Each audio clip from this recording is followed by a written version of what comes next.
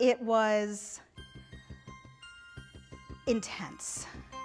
Uh, it was I, more work than I thought that I would have. I had done law school before and I knew how intense it could be and I was a full-time student. And yet, it was not as intense as what I was going through. I was working full-time and going to school 20 hours a week. And we were thrown in at the deep end with contracts. There was no kind of, we did have two weeks of kind of orientation and you know general thinking about the law.